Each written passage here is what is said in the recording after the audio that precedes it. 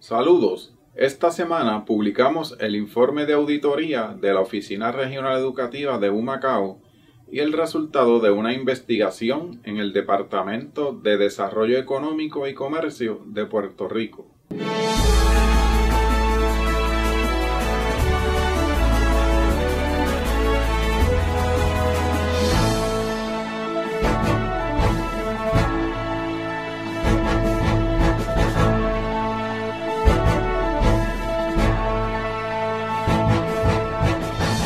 La Contraloría de Puerto Rico reveló deficiencias con la contratación de los servicios de transportación escolar en los distritos escolares de la región educativa de Humacao.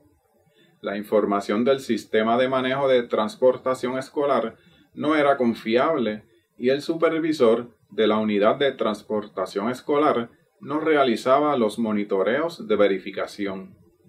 La auditoría también comenta que se realizaron pagos indebidos a un porteador por la cantidad de 19.139 dólares por servicios no rendidos a estudiantes de educación especial.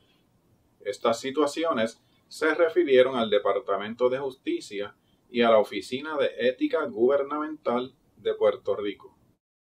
Por otro lado, un informe de investigación indicó que se pagaron incentivos en exceso a las pequeñas y medianas empresas afectadas por la emergencia del COVID-19. La investigación reveló que se realizaron 130 desembolsos por 143 mil dólares en exceso por solicitudes de incentivo duplicadas y hasta quintuplicadas. Además, los auditores hallaron 1.064 solicitudes radicadas por 1.1 millones de dólares sin el número de registro de comerciante o con el número incorrecto. Les recordamos que los informes de la Oficina del Contralor, cartas circulares y otros documentos están disponibles en nuestro portal www.ocpr.gov.pr.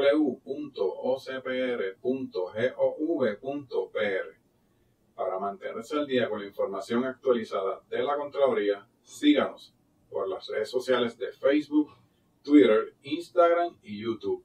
Contraloría a sus órdenes.